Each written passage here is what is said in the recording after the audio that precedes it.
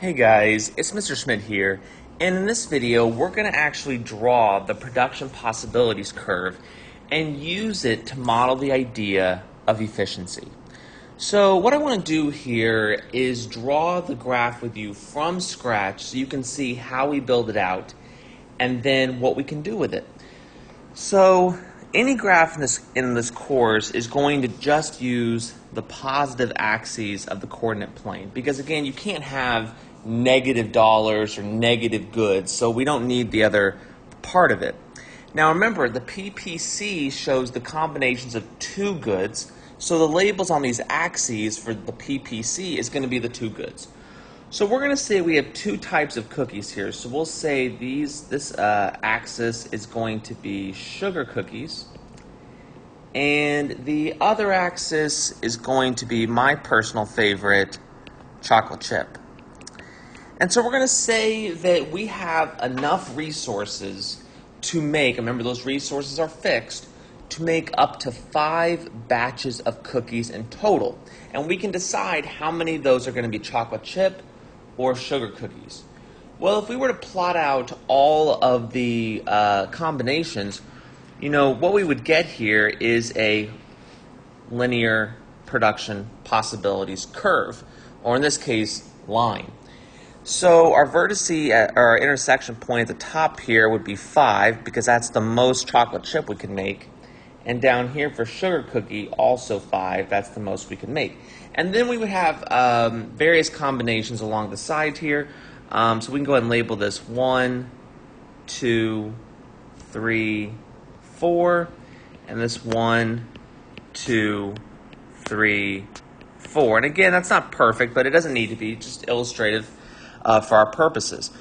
So this is a production possibilities curve. It shows all the combinations of two goods, in this case chocolate chip and sugar cookies, that can be produced with a fixed amount of resources. Now, let's talk about uh, what we could say of a point that is on the PPC. So let's pick uh, this point here at three chocolate chip and two sugar cookies, and we'll call that point A. So, what could we say about point A? Well, we could say that point A is efficient.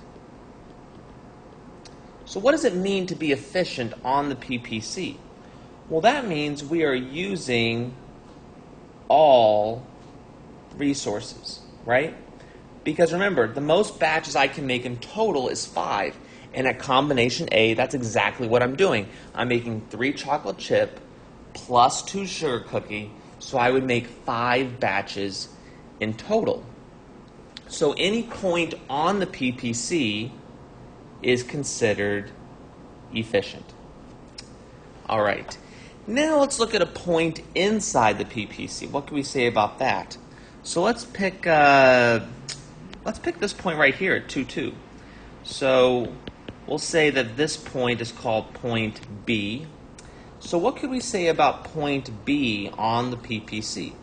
Well, I'm sure you won't be surprised by this. We can say that point B is inefficient. So what do we mean by inefficient? Well, it's the opposite of efficient. We are not using all resources. Okay?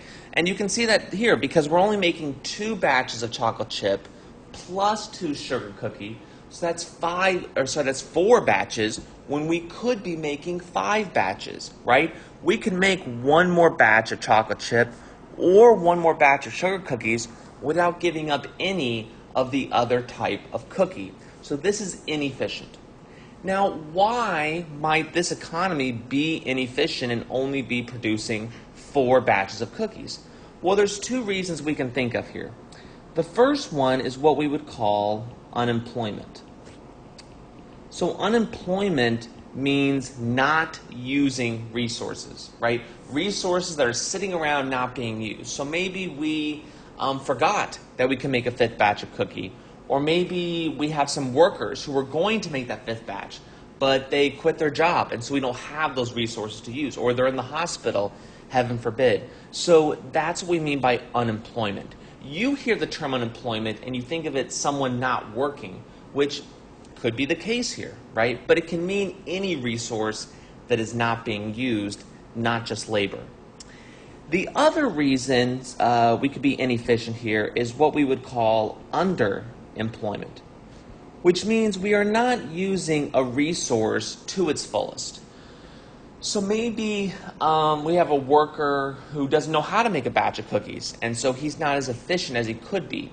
Or maybe we have a machine that does, that's pretty slow, and so we're not able to make the full five batches. That's the idea of underemployment. A resource is not being used to the fullest. So we can be inefficient because a resource either isn't being used, unemployment, or is not being used to the fullest, underemployment. Finally, what can we say about a point that is outside the PPC? So let's do this point right here at four sugar cookies and two chocolate chip, and we'll call that point C. So what could we say about point C? Well, for point C, we could say this is unattainable. Right? Because remember, the most batches we could make is five. But here we're making six. Two chocolate chip plus four sugar cookies. So in other words, I do not have not enough resources to make this combination. So any point that is outside the PPC is going to be unattainable. And I forgot to mention that any point that is, uh, that's an arrow, inside the PPC is going to be inefficient. So this is important to understand here. No matter how the PPC is shaped, a point on the PPC is efficient, inside is inefficient, and outside is unattainable. We don't have enough resources to produce that combination.